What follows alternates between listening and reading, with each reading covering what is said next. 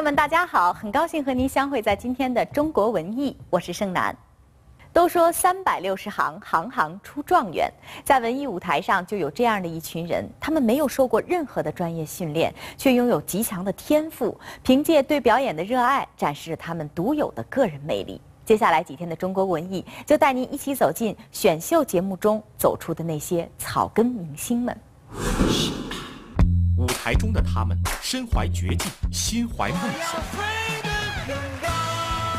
他们动情演绎，坚持自己。他们独具特色，笑料百出。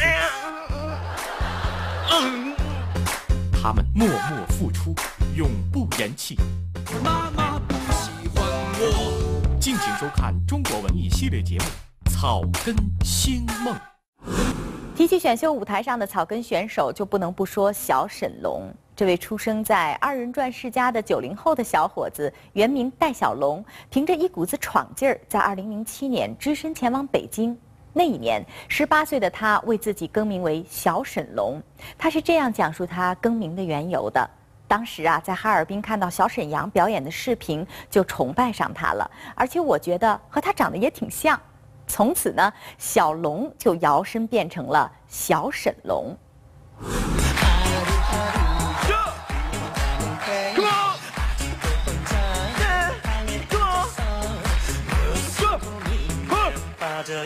马来西亚，马来西亚，马来马来西亚，好的，没到啊。出生在黑龙江的二人转演员小沈，受家庭影响，十三岁入行。虽然从小登台，却因模仿小沈阳被大众所熟知。我一直都是模仿他的桥段啊。刚开始的时候，只不过是简单的皮毛，只学小沈阳的一点，像什么啪啪的，为什么呢？哈。那么小沈龙是谁？又是怎样变成小沈阳的师弟？对于他的个人经历，小沈龙有话想说。从小练功，你包括老师呢，那肯定是老师很严呐，拿着一个小竹棍儿，然后你要压腰压腿、翻跟头、打把式，遍体鳞伤那是经常的事儿了。可能是我从小的一个梦想吧。我认为能站在舞台上引领观众的气氛，给大家带来开心快乐，那我们就很开心很快乐。我想把这个舞台当做我一生追求的目标和理想。就像小沈龙的个人单曲《一人歌》的歌词一样，为了那梦想，为了爹和娘，为了那期待眼神和盼望的目光，小沈龙从未放弃过对舞台的渴望。小沈龙的父母也因此在节目中临时被点将，有了第一次上央视的机会。爸妈，咱就来一段二人转，因为我们是二人转世家，让你们感觉一下真正的二人转世家唱一段二人转的表演。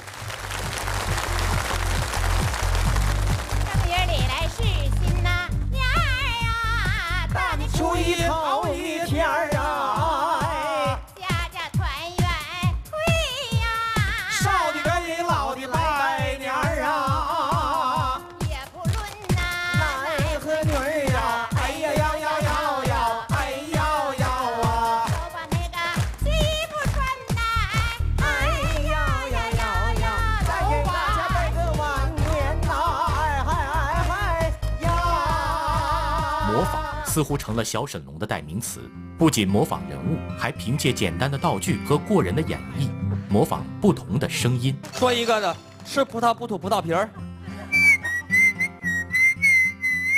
以模仿小沈阳成名的小沈龙，就这样在舞台的锤炼下，逐渐蜕变，用实力证明了自己的模仿才艺远不止于此。阳春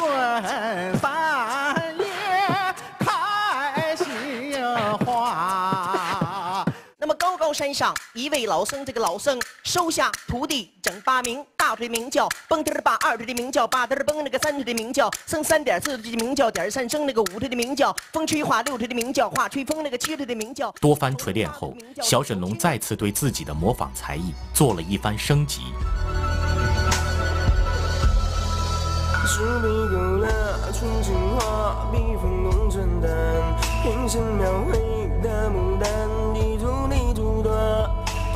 檀香透过窗，心事我了然。宣纸上走笔只此过一半。有些虽然是旅途，因为被时长，而你冉冉的一笑如含苞待放。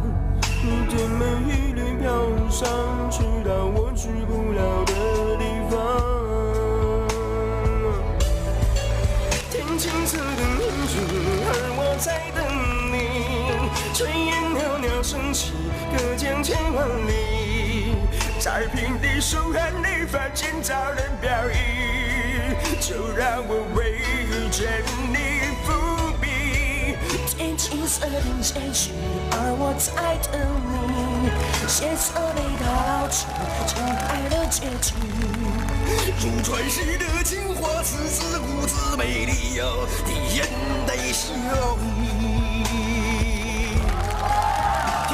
色等烟雨，而我在等你。炊烟袅袅升起，隔江千万里。如传世的情话，字字古字美丽哦，你眼带笑意。小沈龙在舞台上尽情地展现着他改良二人转的本事，用他独特的表演方式给观众们带来欢笑。整场演出思路独特，不愧是个搞笑奇才。谢谢大家，前面演的都比较不错，很高兴再次来到我们笑星大联盟这个舞台，第二次来，非常的激动，非常兴奋。前面都是明星大腕，演的都比较不错，尤其那刚才魏老师那漂移唰唰的，满台搂。那刚才魏三魏老师那家伙没事那比这漂移漂的还厉害呢，就那小车刷刷都能吸飞了都能。没事拉他家我三婶，那家老能飘了。前两天搁大道上飘飘飘着，还玩花样呢，动不动跟他家我三婶说：“媳妇儿媳妇儿，你看手没了。”不大会儿跟他家我三婶说：“媳妇儿媳妇儿，你看脚没了。”正搁这美呢，咕咚撞大树上了。跟他媳妇儿一呲牙，媳妇儿媳妇儿，牙没了。以前不是开这小车的，以前开大车的。买个车嘛，买个什么玩意儿？八八年的七手夏利，嗯，嗯，对，七手的嘛。车便宜，那车花三千九买的，嗯，大修花八万六，嗯，这就开那小车开回来，我一瞅，哎呦我的妈呀！我啪嚓一拍呀，稀里哗啦就散架子了。这一个车呀，除了喇叭不响，剩下哪都响。那没事修上还开呢。前两天开那小车就搁大道上刷刷的就溜达嘛，就刷刷的。不大会儿前面有个地方修路，那嘎有个指示牌，上面写着“此处修道，请绕行”。这老先生也没看着啊，这开小车刷刷的，咕咚咋就干沟里边去了？完了就进医院了，那脑瓜子缠的绷带缠的，就跟木乃伊似的，露俩眼睛。嗯那搁医院里住院吗？这功夫就。他旁边那个铺上也住一个男的，那家馋的比他还厉害，就剩俩眼睛了。这俩人没事唠嗑才好玩呢。人家那男的问他：“哥们，你怎么整的？”他还跟人说呢：“这不是吗？前两天我这开车吗？我这不是。完了前面那嘎有个牌牌上写着‘此处修道，请慢行’。我也不知道咋回事啊，也没瞅着，咕咚家干沟里边去了。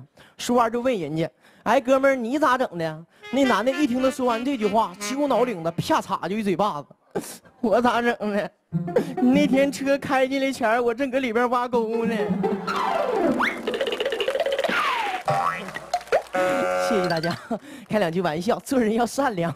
其实我跟你跟你说，其实我这人虽然说长得其貌不扬，但是我也特别有才。但是最有才是谁呢？你看主持人那付玉龙大哥，那我以前都认识。这人我跟你说，为人老善良了，那成个善良了，那家。就前两天我们坐公交车去溜达去，公交车那个公交车坐人多呀，那老挤了，没有座。这家站了三十多分钟，好不容易捞个座，搁那嘎坐着。一回头看旁边门口站一小男孩。能有一米二的身高，背个书包能有一米。当时付大哥那心肠老好了嘛，给那小孩拽过来了。孩子，来来来，你坐着来，累坏了吧？来，你坐着，我我不坐，我站一会儿，腿都站麻了，站一会儿。这啥就搁这站着，站不大会儿，那孩子坐能有五分钟吧？咵站起来了，转身就要走，他咵又给人拽住了。哎，还还还还你回来，你走什么玩意儿？我也不累，你坐你坐你坐那，给那孩子咵摁那块儿。那孩子搁那坐不大会儿又起来了，当时他又上去拽，孩子都哭了。叔叔，你干什么呀？我都坐过两站了。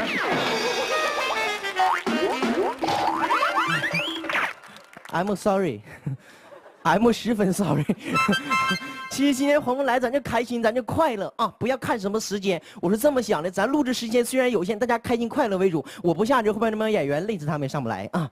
那多讲一会儿，其实我这人比较有才，往台上一站，是不是？像一前面演员整唱了不少模仿名人的歌声，那你模仿你就模仿点高难度的，模仿一般人都不会的，是不是？你往这一站，你来点高的，他们有的高的唱阿宝，你都不用唱那些，你高的你来点咱们世界现顶尖最高的人物维塔斯、海豚音，那家往那一站，那歌剧院老洪亮了，有种穿透云层的声音，往这站就这种感觉。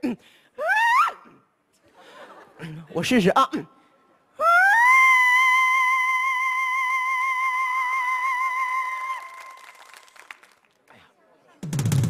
缺氧了，对不对？高的，你再来个低的。咱们中国著名实力派，你老前辈艺术家杨洪基老师，那人唱歌老低老低了，唱什么“滚滚长江东逝水”嘛，《三国演义》那歌往那一站，就这种感觉。滚滚长江东逝水，浪花淘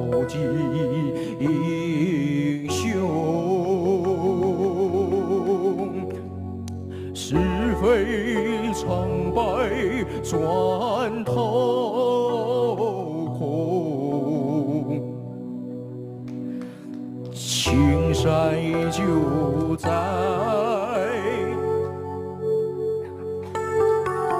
几度夕阳红。我唱不下去，有自己的办法，不能再低了，再低就得挖坑进去了。谢谢大家，来点才艺，哥给我拿个麦克架，吴梅老师，我给朋友搂一段。其实演员上台你多才多艺，什么都得会，能文就得能武啊。二人转演员装啥得像啥，装兔子不能让狗撵上，让狗撵上那是笨兔子啊。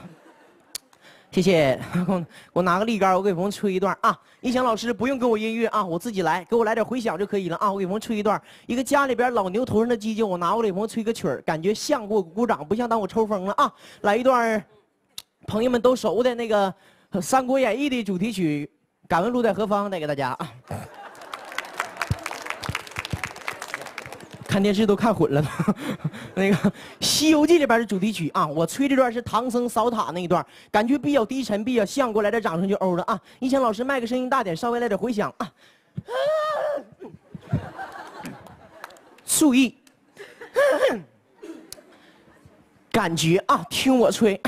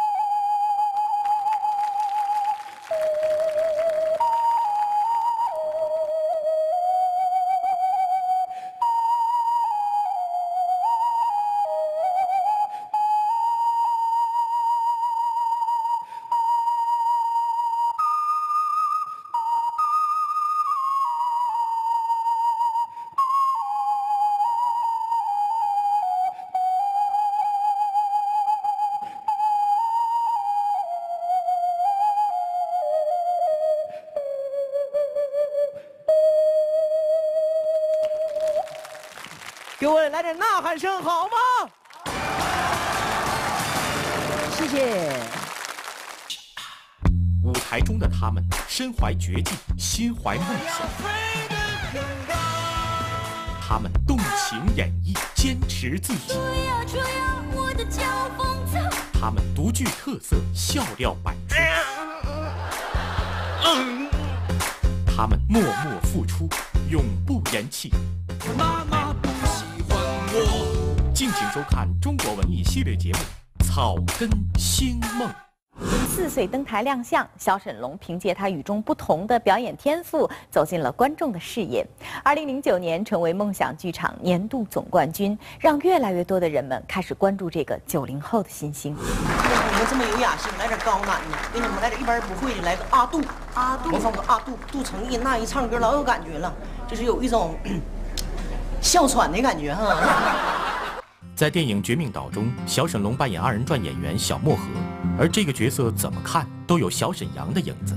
扮演者小沈龙直言不讳：“咱就是在学习小沈阳。”演出风格上是一样的，因为我是学习他，互相借鉴，取长补短。小沈龙、小沈阳这两个名字听起来就像是一个师傅带的两个徒弟。除了二人转以外，小沈阳的那些招牌绝活，咱也会。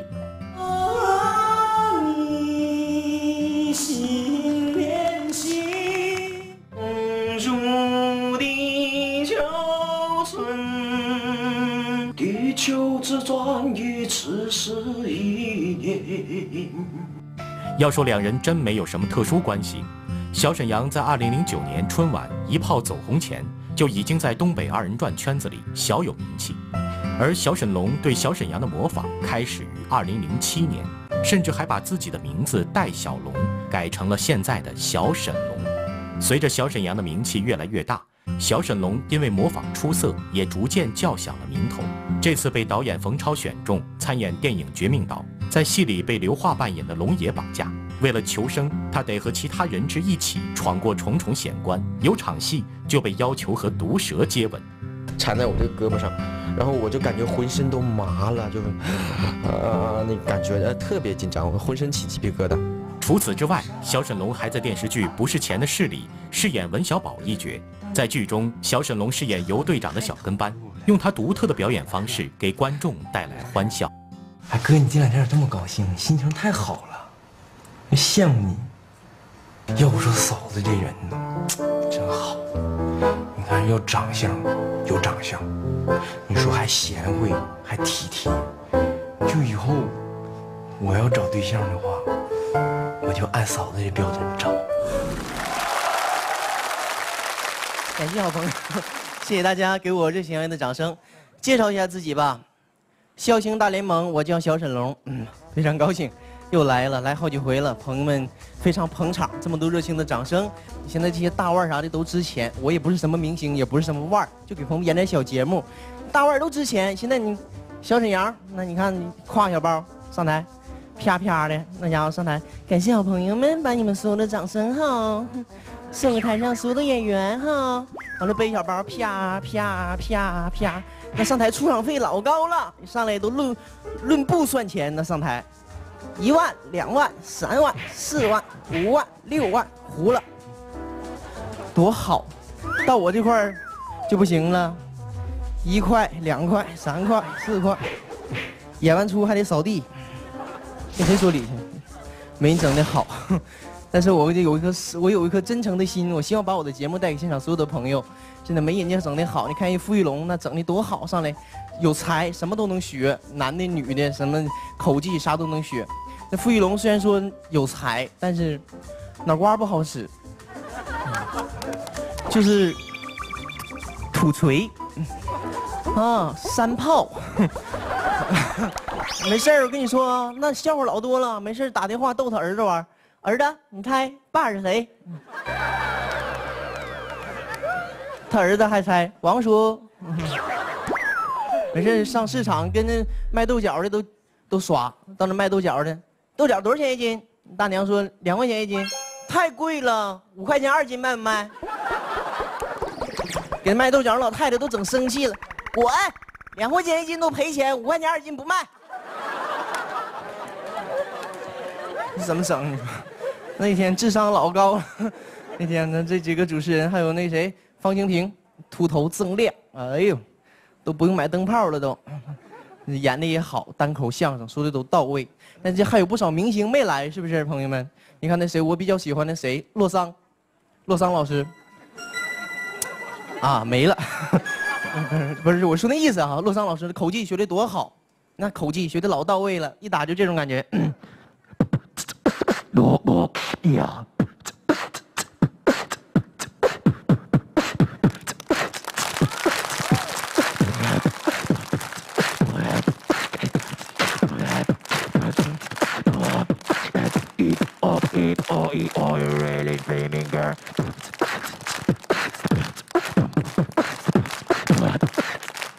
鼓掌！学的多好。还有那个谁，那个李玉刚，朋友们都熟，李玉刚老师那歌唱的多好，男人唱女人唱的那种清新典雅，那一张嘴就这种感觉。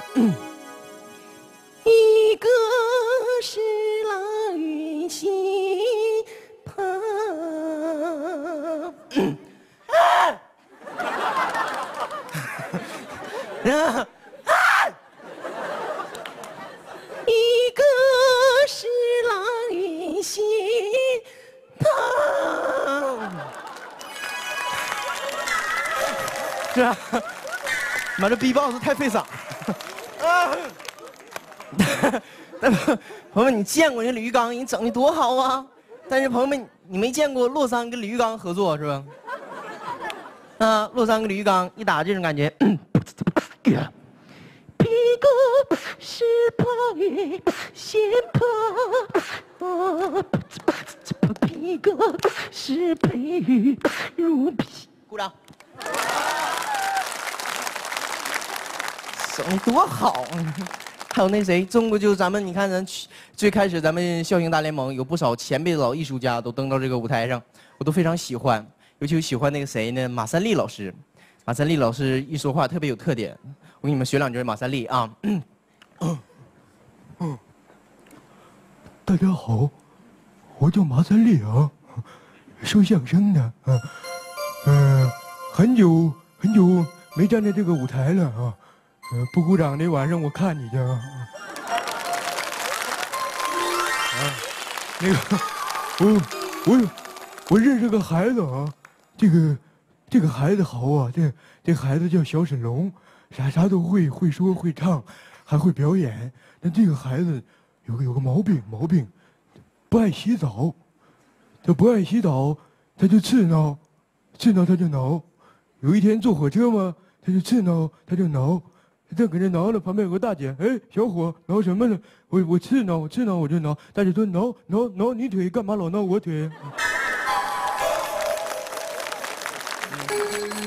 有才不？多有才！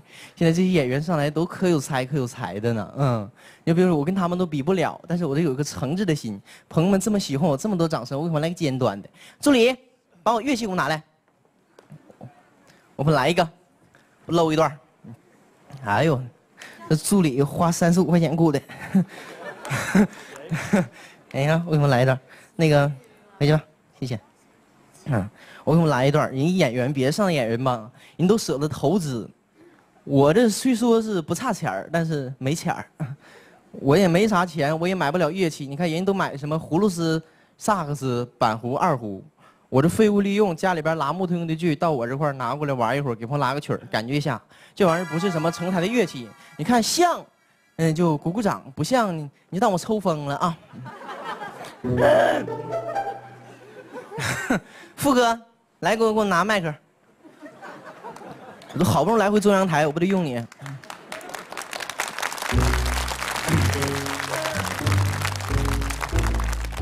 那个，请我上来了是吧？对。菜市场那五块钱的事儿以后别说了啊，听见没？我跟你说啊，我我我，怎么拿呀？这个这个就放这儿是吧？对，从这儿来啊。他这个剧感觉啊，来个中国古典四大名著《西游记》的主题曲《世上只有妈妈好》，带给你们。去，那是世上只有妈妈好吗？四大名曲是世上只有妈妈好吗？什么？月亮代表我的心。这孩子什么都不懂，上来舞台，咱俩一个学校的。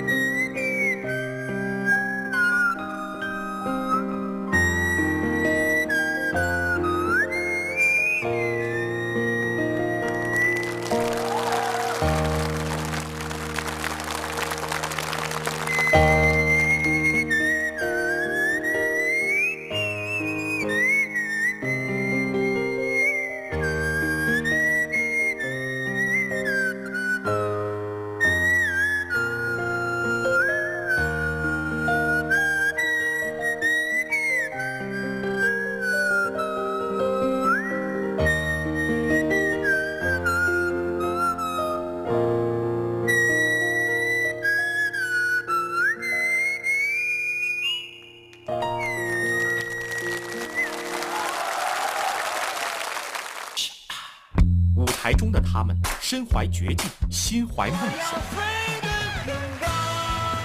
他们动情演绎，坚持自己。他们独具特色，笑料百出。他们默默付出，永不言弃。妈妈不喜欢我。敬请收看中国文艺系列节目《草根星梦》。十三岁，小沈龙就独自背起行囊，开始在各地演出。他始终坚持着自己对于表演的执着信念。这些亲身经历，正是他的原创单曲《一人歌》里的创作灵感。在小沈龙眼里，观众的每一次掌声，亲朋好友的每一次祝福，都让他感恩和难以忘记。天气变幻无常，有时热有时凉，陪伴我们的是太阳和月亮。舞台上风风光光，下了台寂寞难当，这种感觉永远不能忘。当初离开家乡，离开了我的爹娘，怀揣着梦想，我奔向远方。经过多少次失败，受过多少次创伤，我依然寻找我们心中最美的那个天堂。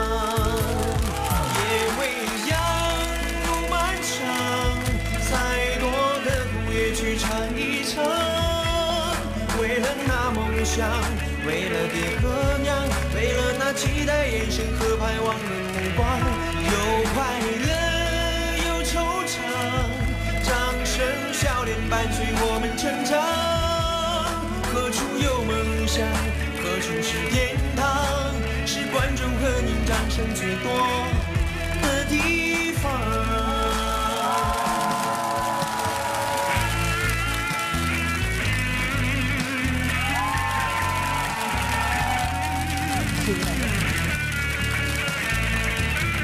停，掌声继续，谢谢。